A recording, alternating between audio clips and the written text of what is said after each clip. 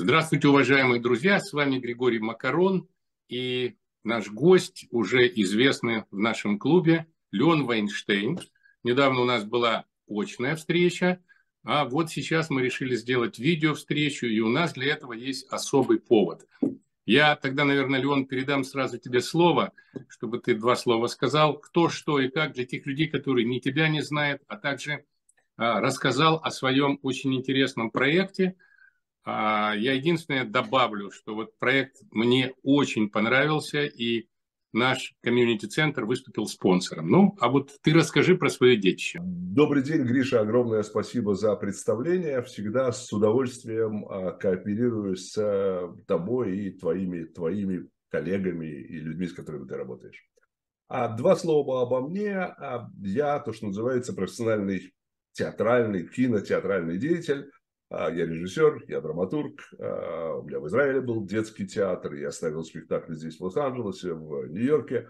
А, кроме того, у меня написано несколько книг, по, опубликованы три книги по-английски, связанные с воспитанием через игру, через театр, через, через какое-то такое вовлечение в действие, скажем. Вот последнее детище, которое я делаю вместе с целой группой очень интересных людей, разбросанных по всему миру, там от, от Москвы до самых до окраин, в Израиле, в Бельгии, в Голландии сказать, и, и тому подобное, сидят люди, которые этим занимаются, мы строим на интернете обучающую игру а для подростков. Потому что это тот самый возраст, когда они уже способны, что называется, думать, соображать, но еще не совсем промыты мозги. Промыты, но еще можно, что называется, оттуда мусор убрать. А что такое педагогический проект? Вот что такое обучающий проект? Мы не собираемся учить детей географии, языку или чему-то еще. Мы учим их думать. И вот это, наверное, самое главное, чего, чего не делают, к сожалению, школы и даже не делают вузы за редчайшим исключением. И а, существуют определенные методологии, мы вошли в контакт с э, целым рядом совершенно потрясающих преподавателей и создали вот эту вот игру, которую мы-то знаем, что она обучающая, и она раскрывает как бы критическое мышление, помогает обрести творческие какие-то начала привить человеку. Но самое главное, вот она обучает думанию. Под думанием я не имею в виду вспоминать долго, какая столица Бельгии там и где находится Уругвай. Я думаю, думая именно думание, то есть создание чего-то, чего робот сделать не может. То есть мы учим людей, детей, подростков делать что-то, чего роботы делать не могут. Это невероятно важно в той атмосфере и в том 21 веке, в котором мы сейчас с вами находимся. Итого, что же это такое? Для детей это не обучающее. Скажи им, мы сейчас будем тебя учить, и им станет скучно. Для детей это интересная, интересная игра, мы даем задания, они их выполняют, они соревнуются друг с другом, они отвечают на вопросы. Им выкидывают вопросы один с другим, за, за решение вопросов им даются баллы. Кто быстрее, кто лучше там. Но и те, кто медленнее, тоже получают баллы. Меньше, меньше, как и в жизни, но получают. То есть любой, кто играет в эту игру, просто пытается даже играть, все равно может получить достаточно баллов. Мы называем, на самом деле это не баллы, это криптокарренси, то есть это как криптовалюта, уж если совсем честно говорить. Ваши дети будут играть одновременно будут зарабатывать, потому что вот эта вот криптовалюта, она позволяет им потом, как в новорусском языке, в новорусском языке говорят, сминтить. То есть mint, NFT. Если кто-то не знает, что такое NFT, это изображение на интернете, которое для взрослых ничего не значит, а дети их собирают, обмениваются, ну, как марками когда-то мы занимали, продают. Так вот, сделав, заработав на своем уме, смекалке, сообразительности, креативити, заработав достаточное количество баллов, можно сминтить вот эту самую NFT, и дальше, хочешь свою коллекцию, хочешь меняйся, а хочешь иди на рынок и продавай ее, господа. И если ее стоимость будет там 100, 200, 300, 500, 3 тысячи, 5 тысяч долларов, что все время происходит, можете посмотреть NFT на интернете, то ваши дети могут за месяц сминтить на тысячу, там, 3 или 5 тысяч долларов этого NFT и бросаться снова дальше.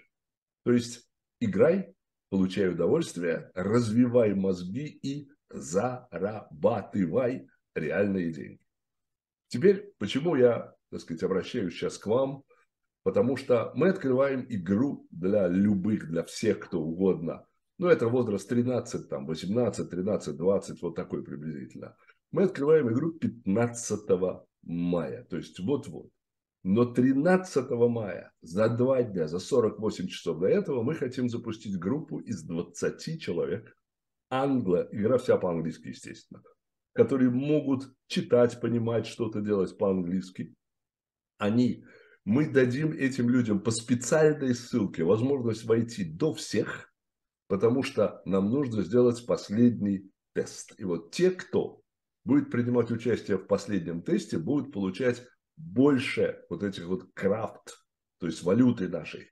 По-моему, в полтора раза так наши ребята решили и сделали, чем когда ты нормально работаешь, плюс еще, как говорят, всякие другие плюшки.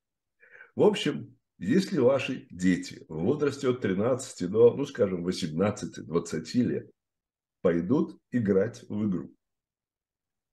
13 по Нью-Йорку 0-0, начиная с 13 по 15, это 48 часов два дня, вот в эти время зайдут туда, будут обмениваться друг с другом мнениями, отвечать на вопросы, вообще примут активное участие в игре, то они получат за это всякие плюшки. Как я понимаю, Гриша сейчас скажет, и вы тоже, господа родители, тоже получите за это премию. Гриша, слово вам. Да, я, прежде чем я буду говорить про плюшки, я бы хотел задать пару вопросов, которые, возможно, возникнут и у родителей. Вот ты сказал, что тут вовлечены, а, так сказать, криптовалюта, деньги. А, первый вопрос. Тут проиграть никто ничего не сможет. Там, я имею в виду какие-то свои деньги реальные, как там в казино. Нет, нет, ни в коем случае. Они только играют. Чистая игра он может поиграть, ну, невозможно ничего не заработать. За правильный ответ получаешь 5 крипт, а за, за неправильный одну. Ну, все. Можно ли это, Леон, сравнить с монополкой, вот с монополией, где там монопольные деньги, и ты там чего-то на них покупаешь в этой игре? Ну, так как я ни разу никогда в жизни не играл в монопольку и не знаю правила, то нет. Но монополи мани, то есть монопольные деньги, мне понятие понятное. Так вот, наша криптовалюта, она будет конвертирована в нормальную, а монопольные деньги ты не очень можешь конвертировать. Ага, то есть э, подросток еще будет учиться и зарабатывать. То есть, но проиграть он не может, да? Нет, нет ну никак. Окей. Я и еще... за телефонный звонок, это не имеет значения сейчас. И еще вопрос. Вот ваша игра, она находится на какой-то уже известной платформе? То есть там, где дети заходят, они знают про, про этот вид игр? А, да, приблизительно 20 миллионов подростков находятся на Дискорде. Дискорд – это огромная платформа. Мы просто, так сказать, что называется, взяли, по-моему, 10 серверов на этом самом Дискорде. Там все делаем, там очень жесткие правила. Там смотрят, чтобы не было порнографии, там смотрят, чтобы не было, то, что называется, приглашения взрослыми детей там на всякие непонятные вещи. Нет, это абсолютно специально для тинейджеров созданная платформа, которая по всему миру отслеживает, чтобы там не было чего-нибудь такого. Понятно. То есть, как мы говорим, это проверенное место, куда можно доверить зайти своему подростку, своему ребенку, правда? Да, абсолютно. Оно, оно не дает зайти ни, никакому, ни порно-сайту, ни веб-сайту, ничего. Оно само чистит. То есть, Понятно. это та самая защита, которую вот говорят родителям, поставьте. Окей. Ну, я как родитель могу только добавить, что моей дочке сейчас почти 8, и я постоянно воюю с ней, чтобы она убежала от интернета и занялась каким-то творчеством. Вот даже с удовольствием ношу ее браслетик и все время пытаюсь ее вовлечь, вот как ты сказал, в игру. Но это вот так в лоб не всегда просто. Поэтому я знаю, что мы с тобой провели не, не один час, говоря про твое творчество, про эту игру. Я знаю, конечно, гораздо больше, чем наши слушатели, которые только узнали.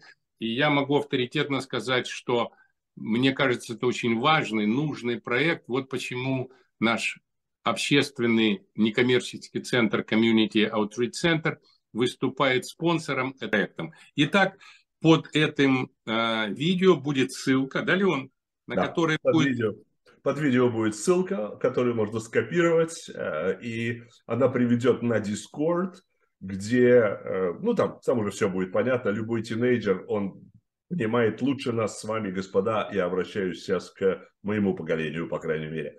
намного лучше нас с вами, что делать, когда он уже туда попадает. Игра, рассчитанная на то, чтобы э, наши дети-подростки, играя в компьютерные игры, могли думать, развиваться и учиться, как использовать свои мозги и зарабатывать бонусы. Правда? Да. Дело. Всем спасибо. Леон, удачи в вашем проекте, удачи тебе, удачи всей твоей команде и до следующих эфиров. Спасибо большое. До свидания.